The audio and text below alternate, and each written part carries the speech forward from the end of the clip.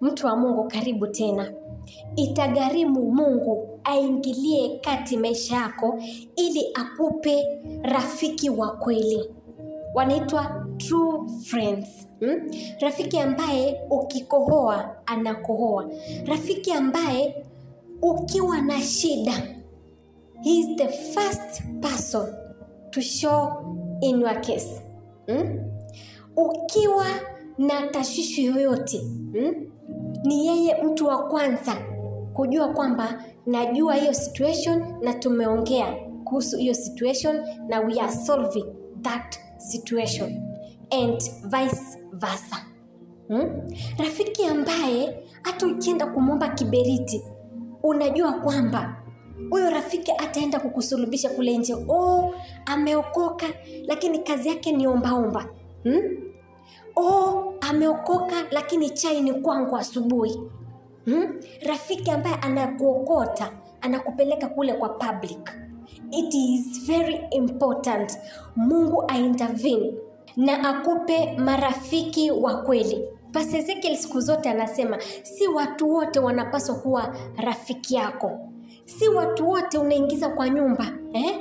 Unawafuruta tu unawafungulia milango wawe marafiki zako ni wakufanya nini hebu eh? sikia kwanza vile pasta alijaribu kuwashauri enye ambao mnataka umaarufu mnataka marafiki wengi mnataka watu ambao wanawazunguka in the name of friends sio watu wote wanakufaa kuwa marafiki zako kama unanisikiliza.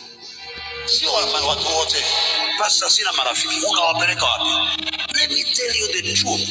Walio na nyota marafiki wanawatafuta. Wasio na nyota wanatafuta marafiki. Aki guys mi hakuna kitu nachukia kama watu ambao wanajifanya ni holi na wanateseka kwa hii dunia. Oh, jirani nisaidia na kibiriti. We jirani nisaidia na unga nijikute. Jirani nisaidia na uto we jirani nisaidia na unga ngano nijikute. Mbona ukipika chapati unipei? Ukipika pilau unipei? Ukipika biriani unafunga mlango na gate? We mi I don't do jirani ati be a christian. So what? Indo christian. Guy me i don't do jirani. Mimi magini jikute. Yote mnafanya macelebration mbona mnialiki? Ndo time ambao umesota. Aki magini nisaidie na uto nisaidie na unga. We eri basi hata nisaidie kiwete. Wewe na unajita mwokovu na nikitoka ndo mnanisengenya nendanga kwa Ezekiel. We jirani jua kuhasol. Hii ni town. Ukiona vinang'aa jua vimeundwa. Jua madhabau ni nini? Hata mimi nachoma pia nachoma shida kutoka bamburi mpaka mavueni. Usione nang'aa nagaramika my friend jirani jua kujisort hata mungu alisema tabariki kazi ya mikono yako. Ukianza kuomba unaomba unapiga ukuta ngumi na teke mpaka tuko tu kwa floor ya pili na tunakusikia. Hey, jirani punguza hiyo maombi jua madhebau ni nini wewe. Shabash haya umeusikia ushauri wa Pastor Ezekiel na pia umeusikia ushauri wa Magi. Magi kayapitia haya hmm? through experience. Ni maombi yangu kwamba Mungu atupe marafiki ambao watatuongoza in the way that we feel comfortable.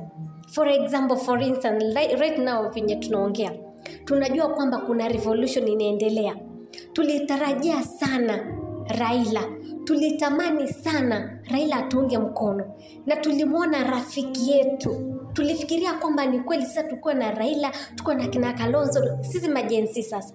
Tulifikiria kwamba tukuwa na huo uongozi eh? tukuwa na watu kama wale watakuwa kipaumbele, watakuwa watu wa kwanza mbele kabisa kupigania haki zetu hmm? kutaka accountability eh? revolution ya accountability ghafla bingvum wale tulitania ni marafiki zetu eh? wakajoin the other side sasa sisi wenyewe wa kenya tumebaki kivyetu. Ndio maana pastor ezekiel anasema you don't need them.